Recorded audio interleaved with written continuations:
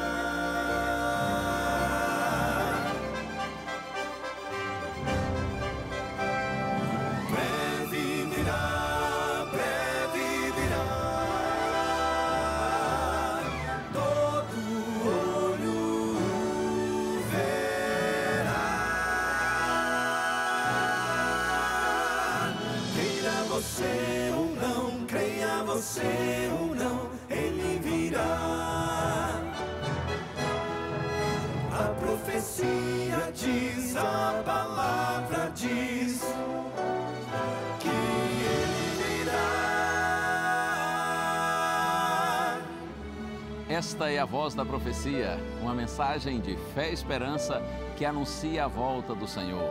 Porque a nossa salvação está agora mais perto do que quando no princípio cremos. Vai alta noite e vem chegando o dia. Servos de Deus, a trombeta tocai, breve Jesus voltará. A todo mundo a mensagem levai, breve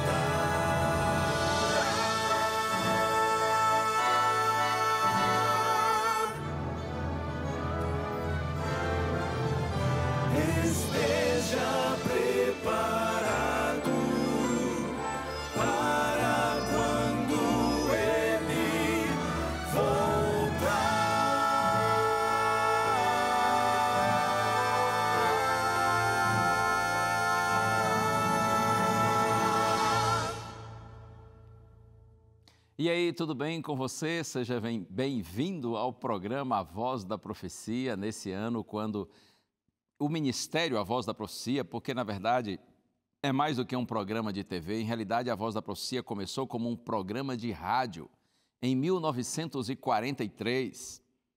Então, esse ano, a Voz da Profecia está completando 80 anos de existência e você é muito bem-vindo a esse programa e a esse ministério. E eu tenho um presente para você que está aqui nas minhas mãos. Eu vou até sentar para lhe oferecer esse presente maravilhoso. É a revista Marcadas pela Fé. A história de oito mulheres mencionadas na Bíblia, mulheres que passaram por muitas dificuldades, muitas adversidades, mas ainda assim venceram porque confiaram em Deus, não vacilaram, tiveram uma fé firmada no Senhor. Esse é um presente lindo que a gente lhe oferece. Na verdade, é um guia de estudos da Bíblia. E você vai ver aqui que, tirando lições da história da vida dessas mulheres, a gente aprende muito da palavra de Deus e como nós devemos viver. Você deseja esse material lindo? Peça que a gente manda para você.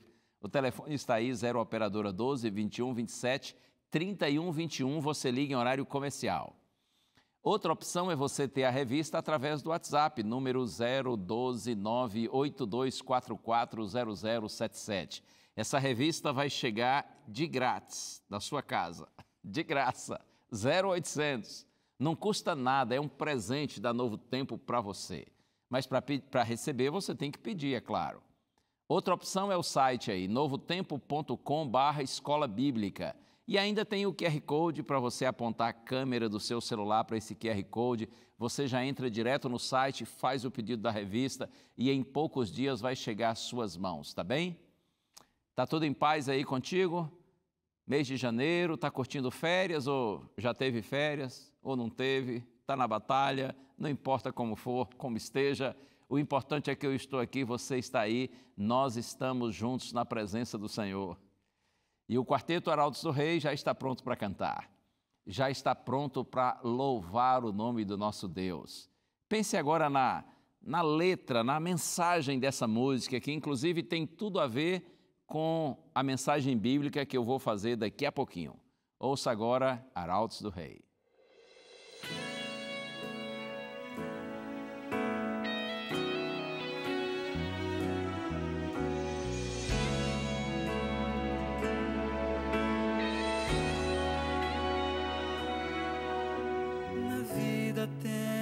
Que enfrentar a provação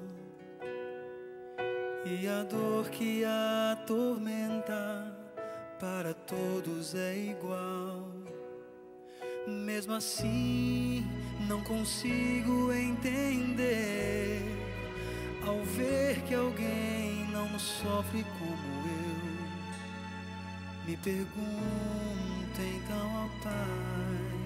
Senhor, eu quero entender o plano teu, tudo aquilo que reservas, muito além dos olhos meus, dentro do meu coração sempre estás. Eu tenho confiado em tuas mãos, mesmo assim pergunto,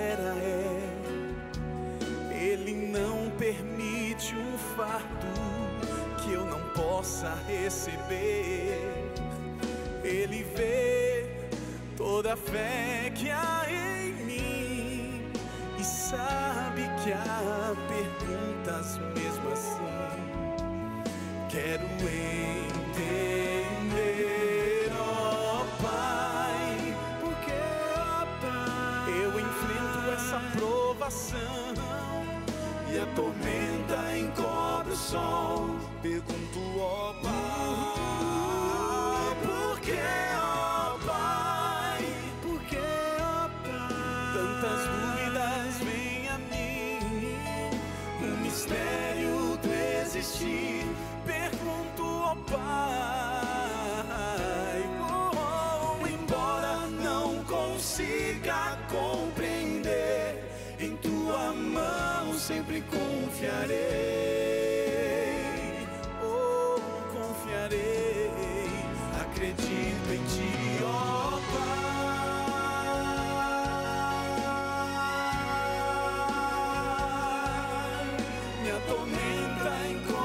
song.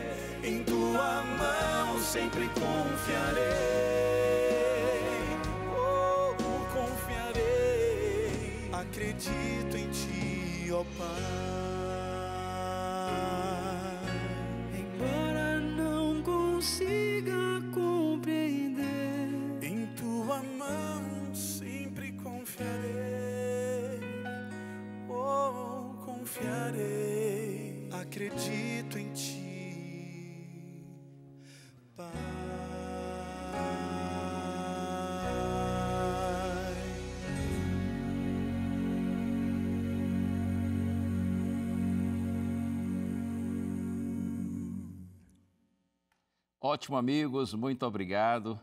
Essa pergunta tem sido feita ao longo dos séculos por muitos filhos de Deus. Por que, ó oh Pai? Né? Por que tantas coisas, às vezes ruins e difíceis, acontecem conosco?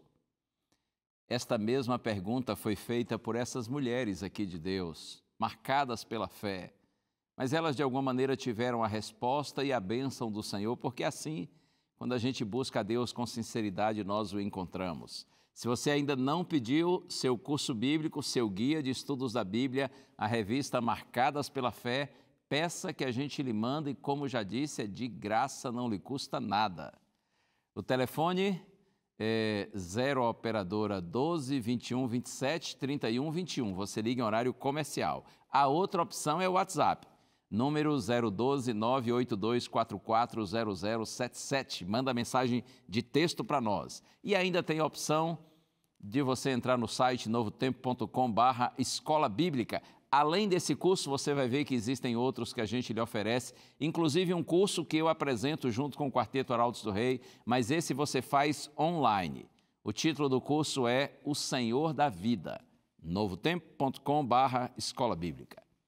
O intervalo é curtinho, eu já volto com você para nós meditarmos na palavra do Senhor e você já viu o título aí da mensagem de hoje, Orações Não Atendidas. Por que não? Como assim? Espera aí que eu já lhe explico. Jesus disse aos seus discípulos, e essa promessa para eles também é para nós, afinal de contas, nós também seguimos Cristo. Repito, e tudo o que pedirem em oração, crendo vocês, porque a oração move as mãos de Deus. Você se lembra, a Bíblia diz que Jó orou e Deus lhe tirou as aflições. Moisés orou e Deus poupou os israelitas rebeldes lá no Sinai, na região do Sinai. Josué orou e o sol parou, o sol entre aspas, claro, o sol parou.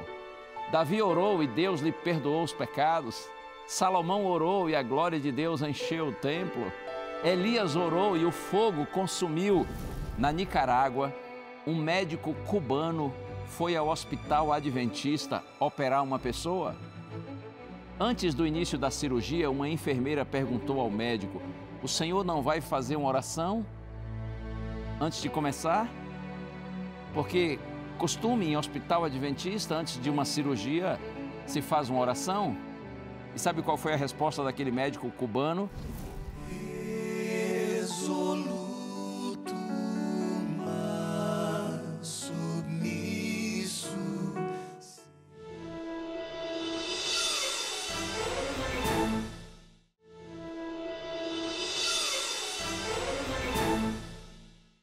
Estamos juntos aqui no programa A Voz da Profecia. Você está bem? Está tudo tranquilo aí?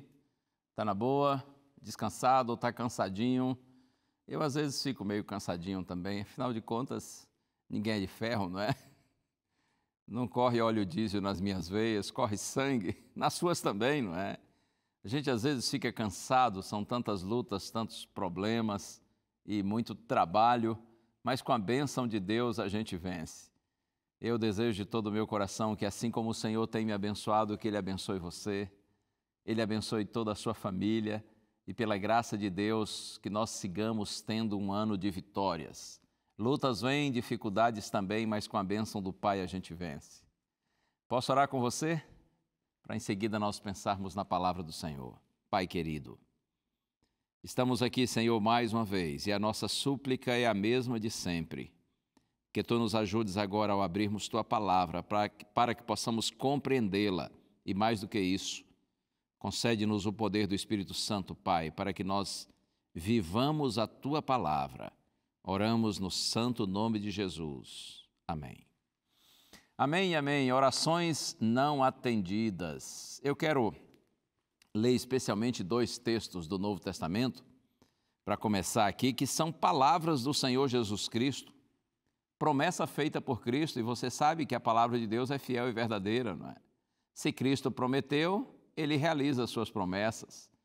Começando aqui com Mateus capítulo 21, Mateus capítulo 21, verso 22. Está escrito: E tudo o que pedirem em oração, crendo vocês receberão.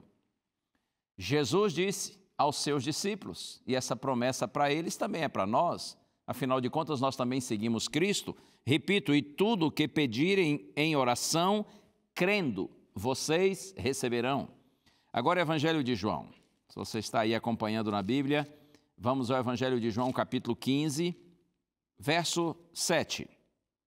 Está escrito assim: Se permanecerem em mim, as minhas palavras permanecerem em vocês, pedirão o que quiserem e lhes será feito. Se vocês permanecerem em mim, as minhas palavras permanecerem em vocês, disse Jesus, vocês pedirão o que quiserem e lhes será feito. Eu li apenas duas promessas de Cristo em relação ao fato de que nossas orações são atendidas, mas eu poderia ler tantas outras. E não só no Novo Testamento, mas também no Antigo Testamento. Porque a oração move as mãos de Deus. Você se lembra, a Bíblia diz que Jó orou e Deus lhe tirou as aflições. Moisés orou e Deus poupou os israelitas rebeldes lá no Sinai, na região do Sinai. Josué orou e o sol parou, o sol entre aspas, claro, o sol parou. Davi orou e Deus lhe perdoou os pecados. Salomão orou e a glória de Deus encheu o templo. Elias orou e o fogo consumiu o seu sacrifício lá no Monte Carmelo. Eliseu orou e o filhinho da sunamita foi ressuscitado. Ezequias orou e Deus destruiu a 185 mil soldados inimigos. Daniel orou e Deus fechou a boca dos leões famintos. Neemias orou e um rei pagão patrocinou a reconstrução de Jerusalém. A Bíblia diz que a igreja orou e Pedro saiu da, prisão. Paulo orou e um, um jovem chamado Eutico foi restituído à vida. Nenhuma dessas pessoas que orou era isenta de falhas, mas todos oraram com fé. Veja, isso é um requisito imprescindível para uma oração eficaz. Outro dia eu li na, no livro Meditações Diárias, é, com o título Até que Ele Volte, página 333, uma história interessante e verídica. Na Nicarágua, um médico cubano foi ao hospital adventista operar uma pessoa. Antes do início da cirurgia, uma enfermeira perguntou ao médico: O senhor não vai fazer uma oração antes de começar? Porque costume em hospital adventista, antes de uma cirurgia, se faz uma oração. E sabe qual foi a resposta daquele médico cubano? Ele disse assim: Já fiz muitas vezes essa mesma cirurgia, faço sozinho não preciso de Deus. E aí ele começou a cirurgia. Em determinado momento, o anestesista chamou a atenção do médico para a pressão que caía. E o médico tentou, assim, tentou de tudo por uma hora, mas o paciente faleceu. E então aquele médico tirou as suas luvas, jogou em cima do corpo e disse assim para as enfermeiras: se o seu Deus pode fazer alguma coisa, que ele comece a trabalhar. E ele saiu, foi dar notícia para a família de que o paciente havia falecido. Aquelas duas enfermeiras, tementes a Deus, junto ao corpo, elas disseram assim uma para a outra: Deus não pode ser zombado dessa forma. Então tiveram a iniciativa de se ajoelharem e elas oraram e disseram: Senhor, agora é a tua vez, é o momento, Senhor, da tua intervenção. E elas levantaram a pressão continuava zero, então se ajoelharam de novo e oraram e disseram: Senhor, é a tua hora, mostra o teu poder. Quando se levantaram, perceberam que o aparelho do eletrocardiograma começou a fazer os seus bips. O paciente reviveu, a pressão voltou a estar normal, mas a área da cirurgia estava aberta, sem anestesia, e elas foram correndo avisar o médico que voltou à sala completou a cirurgia e uma semana depois o paciente teve alta. Um exemplo de oração fervorosa, de oração feita com fé. Mas e se a gente ora com fé, com sinceridade, como essas meninas oraram, e não vem a resposta que nós desejamos? O que houve? Não houve fé suficiente? Pode ser. porém podem existir outros motivos. E eu quero compartilhá-los com você. Salmo 66, verso 18. Quer conferir aí na sua Bíblia? Eu disse Salmo 66, verso 18. Olha só o que que o salmista diz nesse texto bíblico. Está escrito assim: Se no coração eu tivesse contemplado a iniquidade, o Senhor não teria me ouvido. Repito, se no coração eu tivesse contemplado a iniquidade, iniquidade é a mesma coisa que pecado, o Senhor não teria me ouvido. Requisito essencial na oração: uma atitude sincera, honesta e aberta. Confissão franca, para que a oração seja aceitável a Deus. Quem ora deve ter como propósito abandonar todo pecado conhecido. Eu anotei aqui na minha Bíblia um pensamento de David Wilkerson. Ele diz assim: Não culpe Deus por não ouvir suas orações se você não está ouvindo o chamado de Deus para ser obediente. Vou repetir: não culpe Deus por não ouvir suas orações se você não está ouvindo o chamado de Deus para ser obediente. Em Provérbios capítulo 20, 28, verso 9, está escrito assim: Quem desvia os ouvidos de ouvir a lei, até a sua oração será abominável. Ou seja, aquele que não está disposto a fazer a vontade de Deus, a obedecer a Deus, não pode pensar que a sua oração será atendida. Tiago 4, verso 3. Pedem e não recebem, porque pedem mal, para esbanjarem em seus prazeres. Esse é outro texto que você deve anotar aí na sua Bíblia. Tiago diz assim: pedem e não recebem. Por quê? Porque pedem mal para esbanjarem em seus prazeres. Esse pedir mal significa assim, um pedido errado, para esbanjar, isto é, para gastar, para desperdiçar. Muitas vezes em nossas orações nós pedimos alguma coisa a Deus que em nosso pensamento é o certo, é o que precisamos, é o necessário. Mas muitas vezes não é. Às vezes o que nós estamos pedindo a Deus será até prejudicial para nós. Então, como já disse, muitas vezes a nossa oração não é atendida como nós pedimos, como nós queremos, porque, primeiro, o pecado está em nosso coração e nós não queremos abandoná-lo. Outra razão é que, não raras vezes, nós pedimos mal, pedimos errado, o que nós pedimos não é para o nosso bem e poderá ser, inclusive, prejudicial a nós. Mas eu quero lhe dar agora o exemplo do apóstolo Paulo. Segunda carta aos Coríntios, capítulo 12. Imagine esse homem totalmente dedicado a Deus, um homem de oração, um homem de muita fé Segunda carta de Paulo aos Coríntios, capítulo 12. Eu vou ler aqui a partir do verso 7. Do verso 7 ao verso 10. Paulo está falando aqui de uma experiência dele, uma experiência pessoal com Deus em relação a essa questão da oração. Está escrito assim: E para que eu não ficasse orgulhoso com a grandeza das revelações, foi-me posto um espinho na carne, mensageiro de Satanás, para me esbofetear a fim de que eu não me exalte. Três vezes pedi ao Senhor que o afastasse de mim.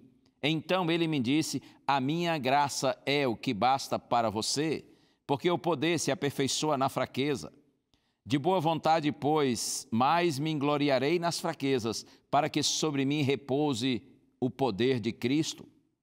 Por isso sinto prazer nas fraquezas, nos insultos, nas privações, nas perseguições, nas angústias, por amor de Cristo porque quando sou fraco, então é que sou forte. Que coisa tremenda, hein? O apóstolo Paulo ora, pede a Deus uma bênção e não recebe. Deus considerou adequado proteger Paulo de si mesmo, protegê-lo do orgulho, da soberba. Por isso que ele disse assim: para que eu não me envaidecesse com a grandeza das revelações. Era preciso conviver com o problema para manter-se humilde. Era para seu crescimento espiritual que Deus permitia aquela aflição. Paulo chama de um espinho na, um espinho na carne, mensageiro de Satanás.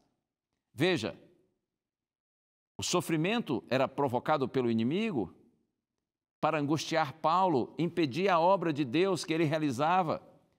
Mas esse sofrimento, para alcançar o apóstolo, teve primeiro a permissão de Deus. E Deus permitiu para protegê-lo do orgulho. Não era uma enfermidade mental ou espiritual, mas era uma enfermidade física. Causava certamente constrangimento, causava desconforto. Com base no texto de Gálatas, capítulo 4, especialmente os versos 13 a 15, nós entendemos que esse espinho na carne era uma aflição que afetava os olhos, a visão do apóstolo, prejudicava a sua visão. Ele diz assim: três vezes eu pedi ao Senhor que eu tirasse de mim, que me ajudasse, me livrasse disso. Em três ocasiões diferentes ele fez esse pedido a Deus. E quando recebeu a resposta, a resposta foi essa: a minha graça é o que basta para você. E qual a reação de Paulo? Ele aceitou como a vontade de Deus. Veja que as suas orações não o livraram do problema, mas ele recebeu graça, ele recebeu poder para suportar a aflição. Eu acho lindo quando Paulo aqui diz assim: de boa vontade me gloriarei nas fraquezas. Veja, esse é o auge da entrega. É como se Paulo dissesse assim: Deus sabe mais, Deus sabe tudo, Deus sabe o que é melhor para mim. E veja que esse paradoxo cristão é interessante, porque nessa sua experiência com Deus, quando você se entrega completamente a Deus, derrota vira vitória, fraqueza vira força. Em resumo, Paulo precisava conviver com aquele problema para o seu próprio bem. E sabe, o mesmo pode acontecer comigo, o mesmo pode acontecer com você. Eu não sei o que você está passando agora, não sei o que você está vivendo, mas o que eu posso lhe dizer é mantenha a sua confiança no Senhor. Aconteça o que acontecer. Nada acontece, nada ocorre na vida dos filhos de Deus que não tenha a permissão do Senhor. E Deus só permite o mal, o sofrimento, quando de alguma maneira isso pode se transformar num grande bem para a gente. E Moisés, lembra da história dele? Outro grande homem de Deus. Deuteronômio capítulo 3. Esse foi outro que fez um pedido a Deus e não teve a sua oração atendida como ele gostaria. Deuteronômio capítulo 3. Aqui a partir do verso 23. Está escrito assim: Também eu, nesse tempo, implorei ao Senhor, dizendo: Ó Senhor Deus, já começaste a mostrar ao teu servo a tua grandeza e a tua mão poderosa Pois que Deus há nos céus ou na terra que possa fazer as obras e os feitos poderosos que tu realizas? Peço-te que me deixes passar para que eu veja esta boa terra que está do outro lado do Jordão, essa boa terra, essa região montanhosa e o Líbano. Porém, o Senhor, indignado contra mim por causa de vocês, Uh, porém, o Senhor estava indignado contra mim por causa de vocês e não me ouviu. Pelo contrário, ele me disse: Basta, não me fale mais nisso. E Deus disse assim na sequência: Suba ao alto do Monte Pisga e levante os olhos para o oeste, para o norte, para o sul uh, e para o leste, e contemple com seus próprios olhos, porque você não passará este Jordão. Tudo o que Moisés pediu foi permissão divina para entrar na terra prometida. Durante 40 anos ele guiou esse povo até essa terra e agora, nos limites da terra prometida, ele deveria morrer. Então ele implora a Deus e diz: Senhor, eu só queria entrar para ver. E Deus lhe disse assim: Basta, não me fale mais nisso. Você verá a terra, mas não entrará. Você morrerá antes. Por quê? Porque o Senhor tinha para ele algo melhor, em outro lugar. Alguém dirá, então por que, que Deus não o levou vivo para o céu? Por que, que Deus permitiu que Moisés morresse? Deus já havia levado Enoque, não é? E depois, na sequência da história bíblica, a gente vê que Deus levou também Elias vivo para o céu. Por que Deus permitiu que Moisés morresse? Eu entendo que o povo precisava ver que erros têm consequências.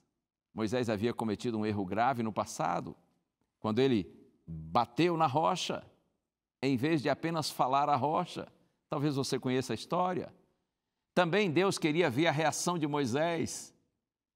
Aceitação, submissão, confiança e ainda um outro motivo porque Deus permitiu que ele morresse para servir de exemplo dos que serão ressuscitados na segunda vinda de Cristo e levados para o céu. Com base no texto do apóstolo Judas, Judas capítulo 1, verso 9, e também no texto de Mateus 17, 3, nós entendemos que Moisés foi ressuscitado e levado para a presença gloriosa do Senhor. Entenda isso, meu amigo, minha amiga. Quando Deus não nos atende, já a questão é que Ele está planejando algo melhor para nós. Porque Deus é poderoso para fazer infinitamente muito mais do que tudo quanto nós pedimos ou pensamos. São palavras de Paulo em Efésios capítulo 3, verso 20. Deus é infinitamente capaz de fazer muito mais do que tudo quanto nós pedimos ou pensamos. Mas olha, eu citei para você Paulo, um grande homem de Deus, do Novo Testamento. Eu citei para você Moisés, outro homem extraordinário do Antigo Testamento.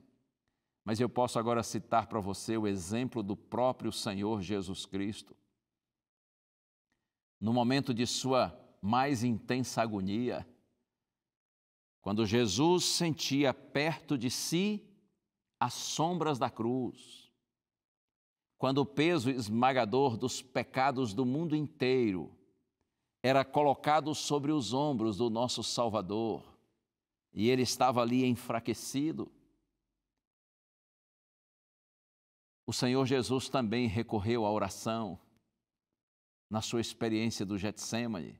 Você certamente conhece esse momento da vida de Cristo. Mateus capítulo 26. Jesus está ali, poucas horas antes de ser injustamente julgado, condenado e crucificado. Jesus está ali naquele jardim e ele se dedica à oração. E na sua oração ele diz assim: Meu Pai, se possível, passe de mim esse cálice sem que eu beba. Todavia, não seja como eu quero, e sim como tu queres. Você compreende que nesse momento, quando Jesus ora assim, Pai, se for possível, passe de mim esse cálice. O Senhor Jesus Cristo, Ele está dizendo, Pai, se houver um outro jeito de salvar a humanidade que não seja com a minha morte, que o Senhor providencie esse meio a humanidade de Cristo estava recuando diante do derradeiro sacrifício, naquele momento ali no Getsemane, o destino de toda a humanidade estava oscilando nas mãos de Jesus. Se ele desiste da cruz, estaríamos eternamente perdidos. Se Jesus aceita o seu batismo de sangue e vai até o Calvário, haveria esperança de salvação e vida para todos nós. E diz a Bíblia que Jesus orou uma segunda vez e disse: Meu Pai, se não é possível passar de mim esse cálice sem que eu beba, faça-se a tua vontade. E pela terceira vez, Jesus disse as mesmas palavras. Mas olha, ele não foi atendido no que pediu. E aí? Faltou fé? Claro que não. Que absurdo pensar nisso. A questão é que aquela era a única forma de nos salvar.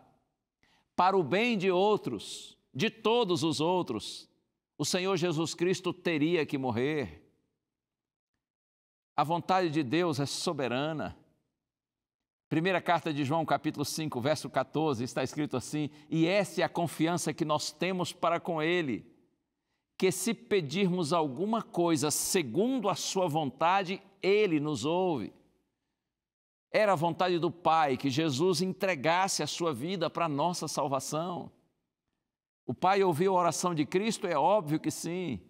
Mas Jesus não foi atendido de acordo com o seu pedido. Mas ainda assim ele se manteve resignado e dizendo: Pai, faça-se tudo segundo a tua vontade. Eu estou aqui e lhe faço um pedido, mas o Senhor me atenda se o Senhor assim entender que é o melhor. Que exemplo, hein? Que exemplo para você e para mim. Eu quero compartilhar com você ainda um texto que está na carta de Tiago. Isso eu faço questão de mostrar para você, porque às vezes eu penso que a gente tem dificuldade de entender essas palavras. Carta de Tiago, Epístola de Tiago, capítulo 5, a partir do verso 13. Pode ser até o verso 16. Ouça bem o que está escrito. Alguém de vocês está sofrendo, faça oração. Alguém está alegre, cante louvores. Alguém de vocês está doente, chame os presbíteros da igreja. E estes façam oração sobre ele, ungindo com óleo em nome do Senhor. E a oração da fé salvará o enfermo, e o Senhor o levantará. E se houver cometido pecados, estes lhe serão perdoados. Portanto, confessem os seus pecados uns aos outros e orem uns pelos outros para que vocês sejam curados. Tiago diz, diz assim: está alguém sofrendo? Está alguém doente? Então orem. E a oração da fé salvará o enfermo, e o Senhor o levantará. E na frase seguinte aqui, ah, a última frase, não é? Do verso 16: Muito pode, por sua eficácia, a súplica do justo. Muito pode, por sua eficácia, a súplica do justo. Entenda uma coisa: essa afirmação de Tiago não é incondicional, como alguns pensam. Essa afirmação de Tiago deve ser entendida assim: e a oração da fé salvará o enfermo, e o Senhor o levantará, se achar que isso é o melhor para ele. Porque Deus sabe o que é melhor para os seus filhos. A oração da fé sempre deve incluir o seguinte pensamento submisso: se isto for da tua vontade. Não foi assim que Jesus orou, nos deu o exemplo? quando nós pedimos especialmente bênçãos materiais. Claro que se você pede a Deus bênçãos espirituais, você não precisa dizer se for da tua vontade. Porque Deus está sempre disposto a nos dar bênçãos espirituais. E quando eu digo bênçãos espirituais, estou me referindo, por exemplo, quando você pede a Deus perdão pelos seus pecados, você confessa seus pecados, com sinceridade pede a Deus perdão. Você não precisa dizer assim, Senhor, perdoa-me se o Senhor quiser. Claro que Deus quer. Deus tem prazer em perdoar, Ele é rico em perdoar. Quando você também ora assim, diz, Senhor, me concede o Espírito Santo para que Ele possa me guiar no estudo da Tua palavra, na compreensão da palavra. Me concede o Espírito Santo, Senhor, para que eu tenha poder para vencer as tentações. Você não me precisa dizer assim, Senhor, se o Senhor desejar, se for isso de acordo com a Tua vontade, não precisa orar assim, porque sempre será a vontade de Deus lhe conceder a bênção da compreensão da palavra, pela iluminação do Espírito Santo o poder do Espírito Santo para você vencer o pecado e as tentações. Então, quando a gente pede bênçãos espirituais, a gente não precisa dizer se for de acordo com a tua vontade, mas toda vez que a gente pede a Deus bênçãos materiais, as que estão relacionadas a essa vida, a gente deve dizer: Senhor, faça-se de acordo com a tua vontade. Esse é meu pedido. Mas o Senhor me atenda desse jeito. Com isso que eu estou solicitando, se o Senhor entende que isso é o melhor para mim. Bênçãos materiais são, por exemplo, cura. Você está doente, alguém está doente, você ora pela cura dessa pessoa, você deve dizer, Pai, atua na vida dela ou na minha vida, mas faça-se como o Senhor entende que é o melhor, porque Deus sempre quer o melhor para os seus filhos e Deus sabe o que é melhor.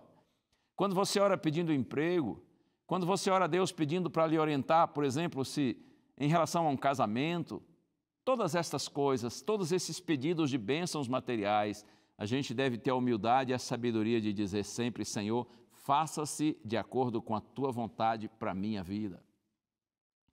Portanto, as promessas feitas aos discípulos e registradas aqui no Evangelho, e duas delas eu li, são válidas para nós também hoje.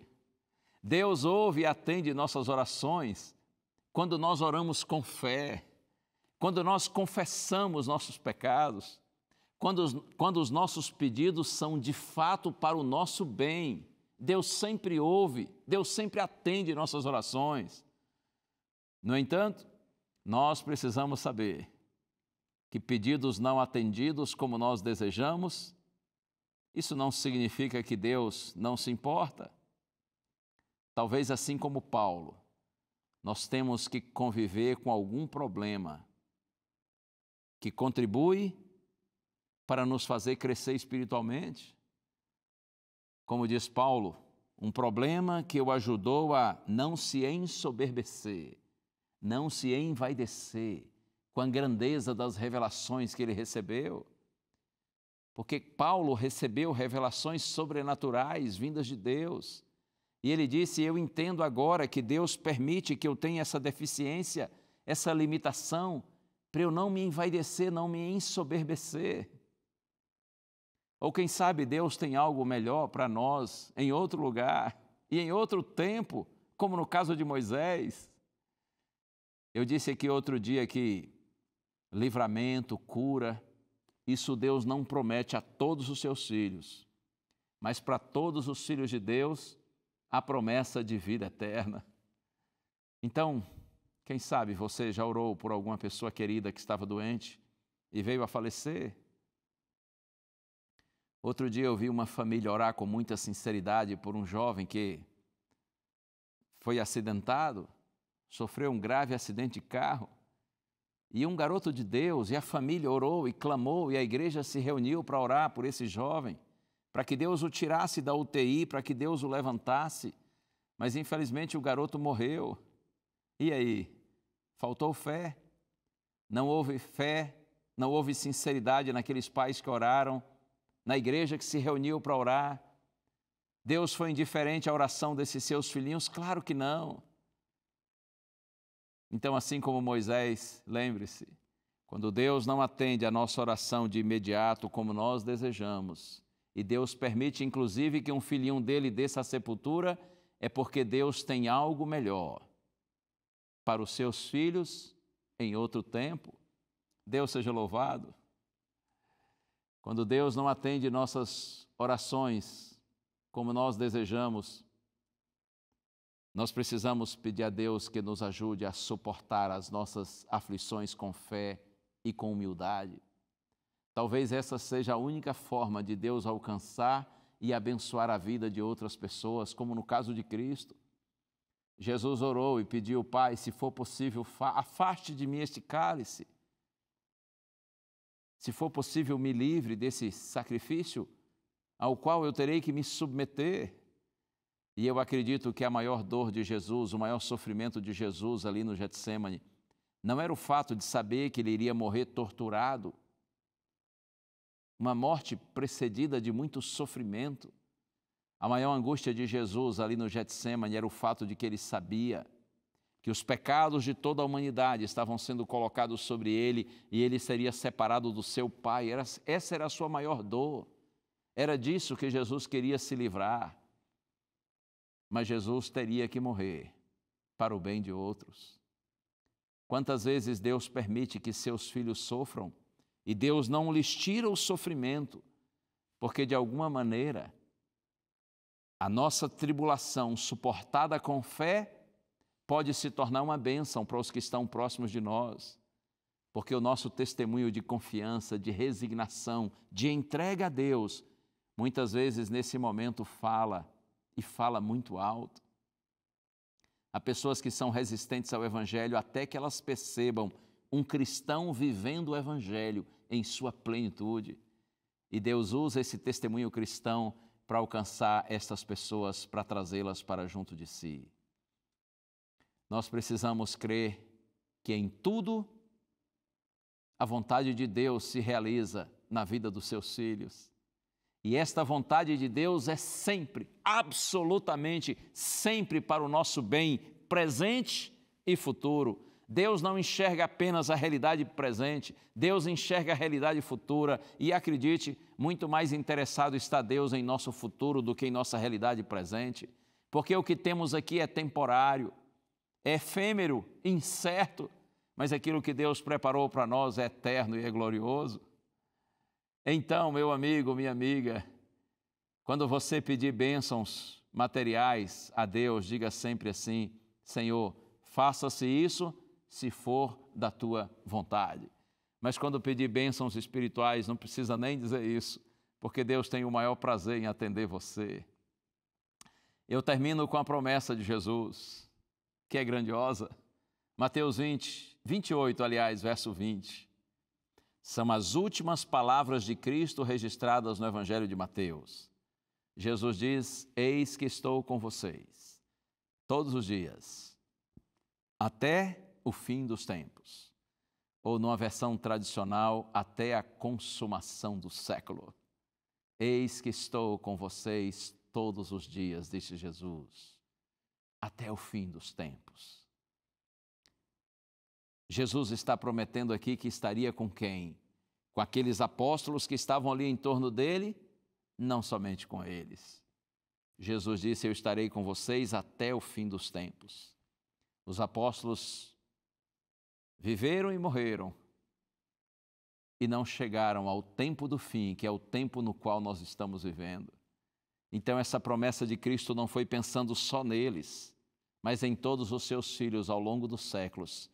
Inclusive, essa promessa do Senhor é para você e é para mim. Eis que estou com vocês até o fim dos tempos. Com a igreja, conosco. Não só até a morte dos apóstolos, como já disse, mas com sua igreja até o fim da história desse mundo. Não é maravilhoso ter essa convicção, ter essa certeza? Deus lhe abençoe. Vamos para frente. Aconteça o que acontecer. Se você receber respostas imediatas às suas orações, do jeito que você pediu, glorifique a Deus. Se você não receber a resposta às suas orações como você gostaria, ainda assim glorifique a Deus, porque acredite, Deus sempre quer e tem o melhor para os seus filhos. Mas é sempre bom a gente pensar: temos nós verdadeiramente abandonado todo o pecado que nos separa, que nos afasta de Deus? Temos nós pedido com sabedoria para o nosso próprio bem? Estamos só fazendo, apresentando a Deus desejos ou reais necessidades? E acima de tudo, como já disse, sempre que orarmos, pedindo bênçãos materiais, tenhamos a sabedoria de dizer: Faça-se, Senhor, segundo a tua vontade. Hora da música. O quarteto canta e em seguida eu terei o prazer de orar com você e essa é uma música de entrega, sem reservas. Aconteça o que acontecer.